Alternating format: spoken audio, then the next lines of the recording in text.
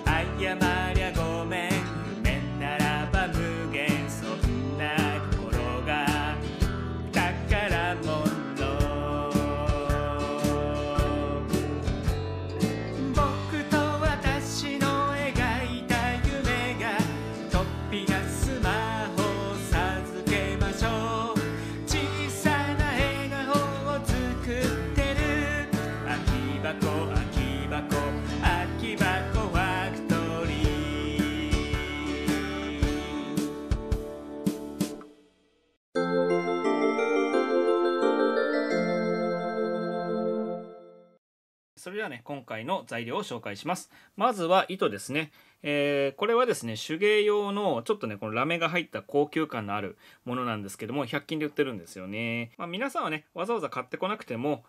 えー、縫い糸、タコ糸、えー、それから毛糸など、え家にね、ある糸だったら何でも OK です。続いて割り箸ですね。えっと、できればですね、こういう丸いものですね。丸いものがおすすめです。これもね、100均に行くと、これぐらいのね、長さのえ竹でできた、えー、ものがありますのでそれがねおすすめですそれから折り紙ですね、えー、できればね和風のものの方がやっぱりこの習字には似合うかなっていう感じなんですけども、えー、これもね100均の、え折り紙コーナーに売ってます。皆さんのね好きな、えキャラクターとか無地のものでももちろん構いません。半紙ですね、えー、やっぱりですねあの墨で書いた時の乾きの速さとか、えーと、にじまない具合がですねやっぱりこの半紙っていうのが非常に優れているので、えー、さっきまではねあの家にあるものでいいですよってことだったんですけどもできればねあのこれは、えちゃんとした半紙を買いましょう。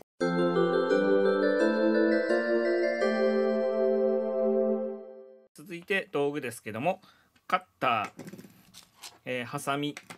えー、それから、えー、紙やすりですね。まあ普通のやすりでも OK です。割り箸をね、削るときにちょっと使います。両面テープですね。えー、細いものの方がいいですね。瞬間接着剤ですね。これはできればね、お家の人と一緒に使いましょう。忘れちゃいけない筆ペン、えー、それからですね、定規ですね。これはそんなに長くなくても OK です。スティックのり、これを忘れずにお願いします。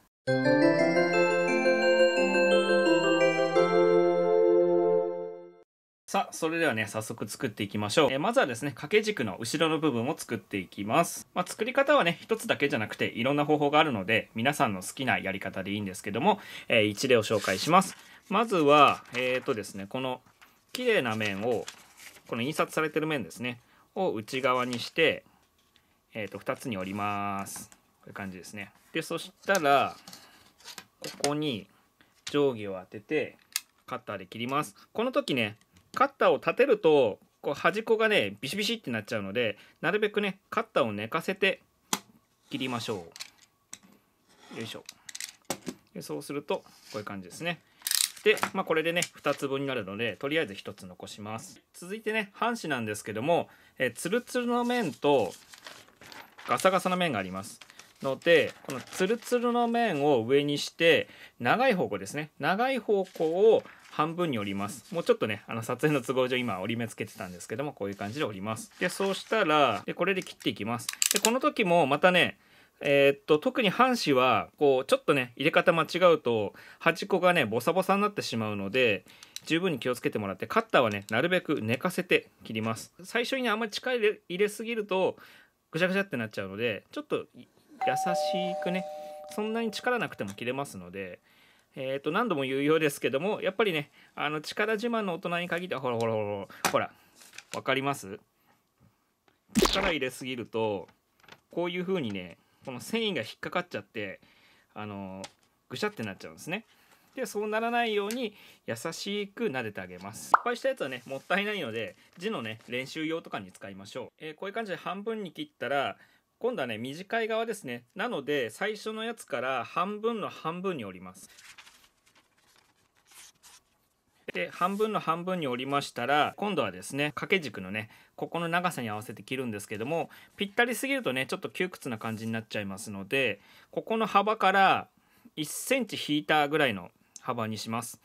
で今回の場合はここ7.5センチあるんですけどもまあもう少しちょっと余裕を見て5センチで切りましょうちょうどねこの工作マットだと5センチ簡単に測れるので端っこをきれいに合わせてですねで切る時気をつけてもらいたいのがこの折った側ですね。この折り目側からやらないとあの上と下でねずれてビリビリってなっちゃうのでそこ気をつけてもらってですね5センチのところで定規をしっかり当ててでまたね何度も言うようですけどもカッターは寝かせて優しく切ります。でこれもねちょっと紙が重なってるので1回で切ろうとしないでですね23回に分けてあの撫でてあげると、えー、割とね綺麗に切れます。こういう感じですね。えっ、ー、とせっかくなんでねまあ1枚で済むんですけども失敗した時とかお友達とかねあの家族みんなであの楽しみたい時用にですね何枚もせっかくなんで切っちゃいましょう。ここはねちょっと力のかけ具合が難しかったりするので子供だけでねできない場合はえーお家のね人が、えー、一緒にねやってあげましょう、えー、そうすると1つのね半紙で4枚 ×2 で8枚ぐらい取れます。で端っこのね余ったやつはまあこれもねあの練習用に、え使うといいと思います。えー、そうしましたらですねこの段階で好きなね文字とかを書いちゃいます。で、えーと、使い方なんですけどこれねこう今2枚重なってるんですけどもなぜ重ねてるかっていうと半紙ね1枚だけだと薄すぎてほら下のねこれが見えちゃうんですねであとあの下にもねあの墨がにじんじゃったりするのでこれね2枚重ねといてここのね折ってる側を上にして、えー、好きなね言葉を書いてもいいし「えー、諸星くんラブ」とかねあの好きなアイドルの名前古いな、えー、書いてもらってもいいですし、えイラストを書いてもらってもいいですし英語とかね別の国の言葉で書いてもね、え面白いかと思いますので皆さんね好きなように書いてください。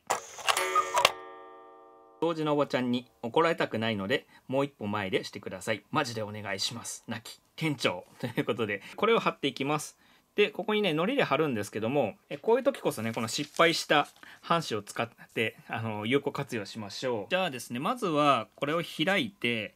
中にですねこのスティックのりを塗っていきます。ここのねここの部分と,、えー、と端っこの部分ですね。まああの墨があの十分乾いたらいいんですけど乾いてないとこの糊にねついてあの墨を伸ばしてしまう可能性があるのでこのね文字を書いてない側に塗った方がいいかもしれないですね。はいくっつきました。上下に糊を塗ります。はいそしたらこの掛け軸のねまあこれ上下ここで決まるので好きな方向に向けてくださいね。だいたい真ん中になるようにこれを貼ります。こういう感じになります。まあこれはこれでねあのこのまま壁に貼ってもいいんですけどもせっかくなんでねちょっと掛け軸風にしたいと思います。でどうやるかと言いますと割り箸ですね。割り箸をここの長さプラス2センチぐらいに切ります。で今回7.5センチなので今度はちょっと長めにとってせっかくなんで、ね、10センチですね。10センチのところで切りたいと思います。でえー、っと私の工作でよくやってるんですけどもハサミでね あんまり正しいかどうかは分かんないんですけどもここに絶対指入れないでくださいね危ないので。えっ、とこういう風に持ってハサミで挟んでこうグリグリ回してあげます、えー、ちょっとねへこんだ部分ができるのでこうやってね力入れるとここから折れるんですね。でここがねちょっとあのトゲトゲバリって言うんですけどもトゲトゲしてるのでこのね紙やすりでこうやって削ってあげます。でそうするとねここ見た目も良くなるし怪我するね心配もなくなります。で反対側のねこっちの方ももったいないので同じようにちょっとわさびすりおろしてるみたいですね。でえっ、とこっちが上で、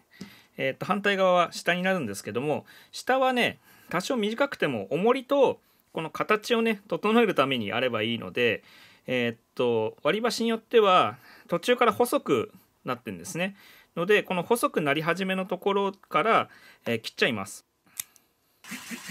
こういう感じでね棒が2本できれば OK です。まあ最後の段階でかけてもいいんですけども、えー、糸ね結び慣れてないとここでねこうやってこうやっていじってる間にこっちがボロボロになってしまう可能性があるので先にね、え糸を通してしまいたいと思います。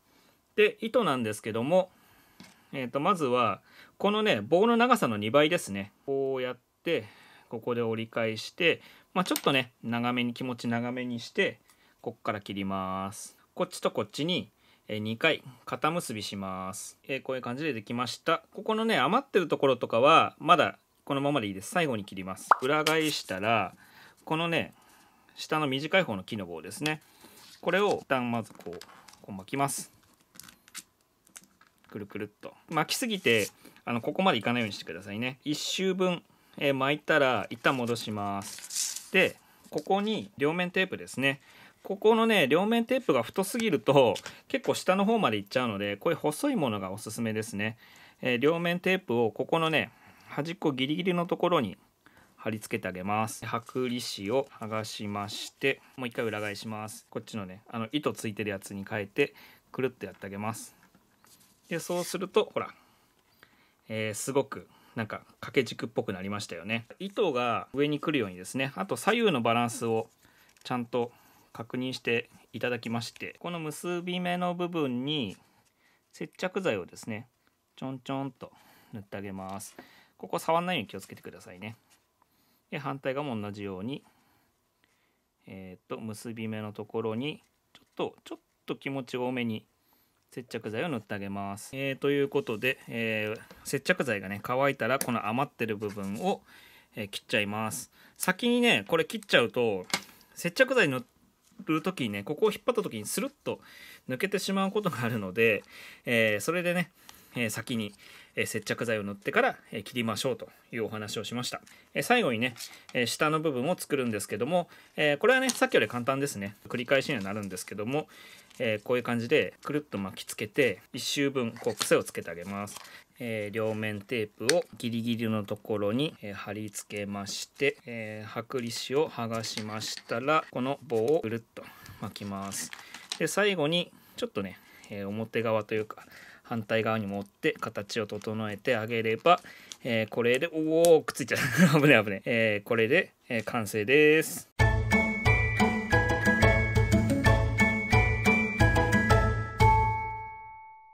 えー、遊び方というか使い方なんですけども、えー、こういう感じでですね、えー、画鋲を壁に刺してここにねこう引っ掛けます。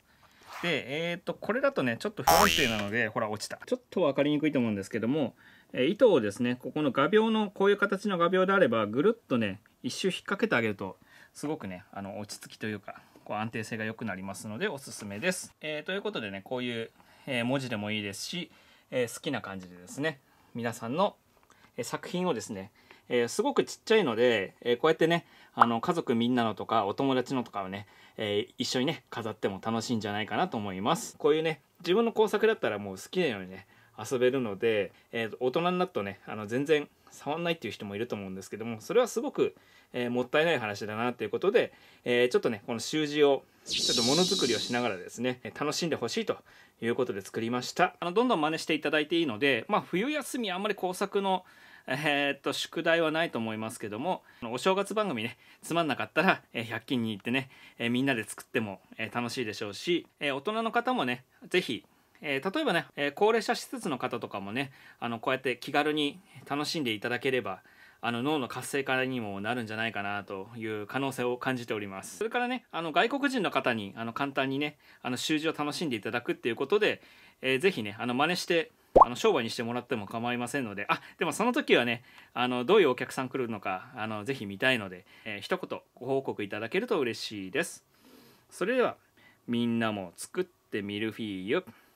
またね。